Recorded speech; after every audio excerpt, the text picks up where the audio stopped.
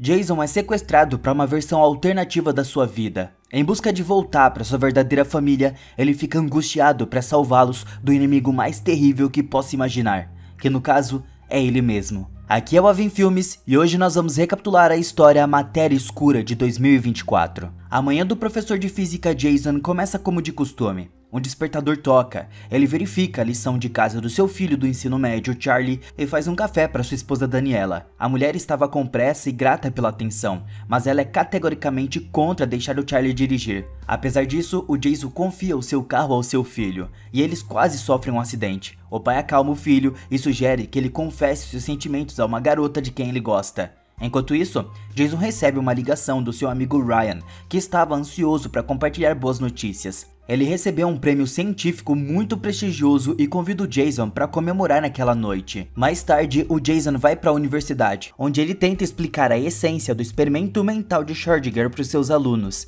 Ele desenha um gato trancado em uma caixa no quadro. Dentro da caixa também há um frasco de veneno, um átomo radioativo e um contador Geiger. Se o átomo não decair, o gato sobrevive, mas se decair, o contador Geiger detectará a radiação. O frasco se quebrará e o gato morrerá. Tudo isso ilustra a interpretação do Copenhague da mecânica quântica, que afirma que, até a caixa ser aberta, o átomo estava em um estado de superposição indeterminado. A aula é interrompida e o Jason observa enquanto os alunos saem apressadamente sem escutar que o gato estava simultaneamente vivo e morto. Mais tarde, o Jason entra em uma sala escura e registra os acontecimentos do dia no seu caderno, e como se injeta com matéria escura. A cena então muda para a cozinha da família, onde o Jason e Daniela estavam preparando o jantar. Charlie brinca com seus pais por beijarem demais. Em seguida, chega uma mensagem de Ryan que estava esperando no bar há um tempo. Daniela insiste que seu marido deve ir encontrar o seu melhor amigo. Então Jason cede e vai pro bar. O Ryan fica feliz com a chegada do Jason e pede a bebida favorita da Daniela, que o barman observa ser a última garrafa. Ryan apresenta seus colegas ao Jason e inesperadamente oferece a ele um cargo no seu novo laboratório de pesquisa sobre consciência. Mas há um problema: o centro de neurociência será em São Francisco e o Jason não tem certeza se a sua família quer se mudar de Chicago. Ele promete pensar a respeito e vai para casa, mas em uma rua escura é repentinamente parado por um homem armado com uma máscara. O Jason estava pronto para entregar tudo de valor que ele tinha, mas o assaltante parece interessado em outra coisa. Ele coloca o Jason no carro, chamando ele pelo nome e ordena que ele obedeça. No caminho, o ladrão desbloqueia o seu telefone, sabendo a senha, e faz perguntas sobre Ryan. Logo eles chegam a um prédio deserto, onde o ladrão ordena que o Jason tire suas roupas. Ele obedece, mas ainda decide atacar o assaltante. No entanto, ele recebe um forte golpe na cabeça e imediatamente sente uma injeção no pescoço. O ladrão diz para ele vestir roupas diferentes e avisa que o Jason estava recebendo uma nova oportunidade. E ele deve se lembrar disso, porque agora ele terá tudo o que sempre sonhou. E ele estava fazendo isso por ambos. Quando Jason pergunta quem é o assaltante, ele escuta que é melhor não saber. A consciência do Jason desmaia. Ele recupera consciência em uma enfermaria de hospital, é examinado e é enviado para um chuveiro. Eventualmente, o Jason recobra seus sentidos em um quarto desconhecido. Ele tenta sair, mas as portas são trancadas. De repente, uma mulher que ele não reconhece entra, age como se o conhecesse bem e se apresenta como Amanda. Ela informa que seu corpo estava limpo e que ele não estava mais em quarentena. O Jason não entende o que estava acontecendo, mas ninguém responde às suas perguntas. A segunda pessoa que o Jason vê é o Layton, com quem ele trabalhou há muito tempo. Layton o parabeniza por seu triunfo e o chama de diretor científico. Em seguida, as persianas se abrem e inúmeros colegas aplaudem o Jason, dando as boas-vindas de volta. Ele esteve ausente por 14 meses e 10 dias, e todos querem escutar sobre a sua jornada. Confuso, o Jason começa a falar sobre o encontro no bar e o estranho ladrão, mas a sua paciência se esgota porque ele não conhece as pessoas ao seu redor e não entende o que estava acontecendo ali. O Leighton avisa que ele deve ficar lá durante a noite. No entanto, o Jason empurra e começa a correr. Ele consegue chegar à saída, onde um segurança o chama pelo nome e o ajuda a abrir a porta. O Jason foge do local, mas mesmo sendo perseguido, ele consegue pegar um táxi dá o seu endereço e segue para sua casa. No entanto, ao entrar, ele encontra sua casa completamente diferente do que ele se lembra. Ao mesmo tempo, em outra realidade, o novo Jason retorna do bar e vê a sua esposa Daniela chateada. Ele a abraça e conta sobre a oferta do Ryan e a lembra da sua escolha de se casar com ela ao invés de ficar no laboratório frio e estéreo. a esposa se acalma e beija o marido, sem saber que esse homem na verdade não é o Jason.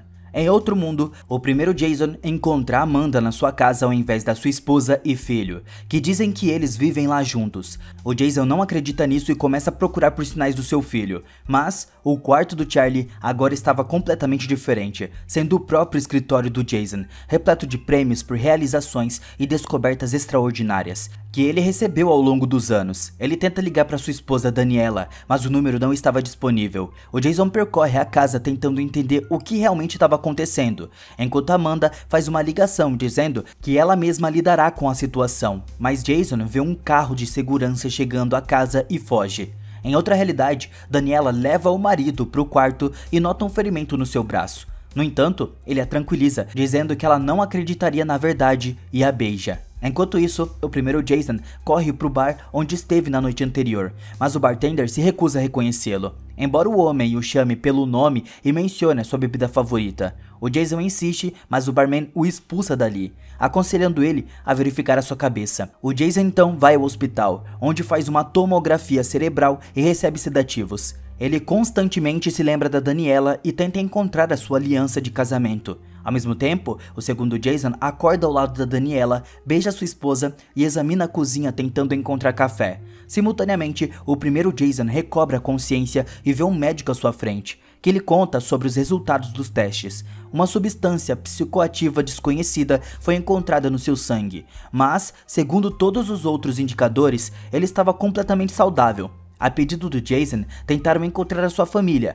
mas não há ninguém em Chicago com esses nomes. Os médicos também checaram seu prontuário e a mulher lista com suas conquistas científicas, as quais o próprio Jason não se lembra. Ela o informa que ele esteve desaparecido por mais de um ano e eles gostariam de saber onde ele esteve. O primeiro Jason verifica suas informações e ainda encontra Daniela, mas com seu nome de solteira. Nesse mundo, ela continuou perseguindo a sua carreira de pintura e a sua exposição estava programada para abrir justamente hoje. Ao mesmo tempo, Amanda, Layton e um oficial de segurança discutem a situação.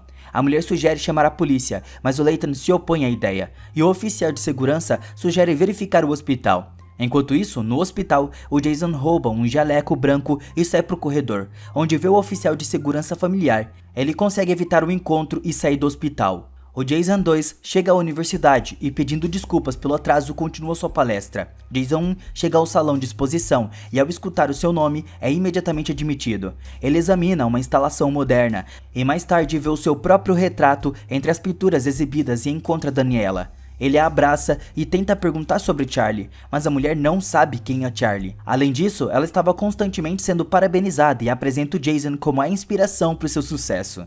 Ryan chega muito surpreso com a presença do Jason, já que havia muitos rumores sobre o seu desaparecimento. O homem estava desapontado com o Jason porque fez muito por ele. E ao escutar o nome da empresa da qual recentemente ele escapou, Jason começa a fazer perguntas. Daniela então inicia um discurso que inclui questões sobre sonhos não realizados, Todos estavam se perguntando o que ele poderia ter sido, e aconselha lembrar-se das outras portas que ele poderia ter aberto. Ao mesmo tempo, em outro mundo, Jason 2 escuta as histórias da Daniela sobre seus planos de trabalho e dá conselhos ao filho, o que surpreende a sua esposa. Simultaneamente, o Jason 1, Ryan e Daniela do Novo Mundo discutem planos. Jason de repente propõe uma hipótese sobre um cientista casado com a mulher dos seus sonhos, que uma vez foi a um bar onde encontrou um velho amigo que havia recebido um prêmio prestigioso, mas no caminho de volta foi atacado e ao acordar tudo ao seu redor havia mudado. Um exame cerebral não revelou anomalias, apenas uma substância desconhecida foi encontrada no seu corpo. Para uma brincadeira, isso era muito elaborado e ele não havia enlouquecido. Jason pergunta como ele inspirou a criatividade da Daniela, e ela lembra que, certa vez, ele foi até ela e disse que, teoricamente, as pessoas existem em milhões de realidades paralelas, e sua decisão de se separar dela foi o seu maior erro nesse mundo. Depois, ele fala sobre algum projeto secreto e avisou que eles não se veriam novamente. Então Jason começa a descrever a sua vida juntos com o filho, o que causa raiva no Ryan e as lágrimas da Daniela. Ele descreve as conquistas do seu amigo no próprio mundo, mas ele vai embora. Ao mesmo tempo, Jason 2 troca as escovas de dentes, confundindo a sua esposa, e Jason 1 recebe permissão para passar a noite no quarto de hóspedes da Daniela. Olhando ao redor, ele encontra um elástico que enrola no seu dedo anelar para imitar uma aliança de casamento. Enquanto isso, o Jason 2 confunde a sua esposa com uma ternura incomum e examina as fotografias nas paredes da casa, após ligar para o Ryan e recusar a oferta de trabalho em São Francisco. Nesse momento, Jason liga para Amanda e diz que vai ao hospital psiquiátrico. A mulher vai para lá, mas acaba sendo um truque que o Jason usou para tirá-la de casa. E agora ele e a Daniela estão inspecionando a sua casa juntos. O homem aponta para uma foto, mas no seu mundo eles são representados como uma família nela. Ele fala sobre um filho que é tão talentoso quanto a mãe, e a Daniela admite que, depois que ele a deixou, ela se desfez do filho. O Jason não acredita nisso, pois tudo era diferente, mas a Daniela insiste que no mundo dela é exatamente o que aconteceu. As pessoas não conseguem entender porque suas memórias são tão diferentes, mas a mulher começa a acreditar nas suas histórias. Mais tarde, ele encontra registros do seu duplo nesse mundo e percebe que ele fez uma grande descoberta em física quântica. O Jason número 2 criou uma versão mais volumosa do container onde uma pessoa era colocada em superposição e ganhou a capacidade de se mover entre múltiplas realidades. Acontece que seu duplo, Jason número 2, se mudou para o seu mundo e enviou o Jason número 1 para sua dimensão, para esse mundo. Assim o Jason é vivendo em uma realidade diferente da dele, até que a questão de casar com a Daniela surgiu. Quando o primeiro Jason escolheu a sua família, o segundo deixou ela. Seus universos se dividiram e o segundo Jason se dedicou à ciência e inventou o container. Eles trocaram de mundos. Mas por quê? Mais tarde, Daniela admite que estava feliz por ele ter aparecido, e ele explica o elástico na sua mão, com o desejo de preservar o casamento e voltar para sua esposa. Ele fala sobre a vida deles em outra realidade e admite que eles eram felizes. Daniela o beija, mas naquele momento alguém bate na porta. Eles vão abrir e um oficial de segurança da empresa Velocity, de onde o Jason havia fugido, invade a casa. Ele pede para não usar armas, mas a mulher atira na Daniela. E a última coisa que o Jason vê é o seu rosto coberto de sangue. Esses aqui foram os dois primeiros episódios que lançaram até agora da nova série da Apple que se chama Matéria Escura. Então, tudo é finalizado.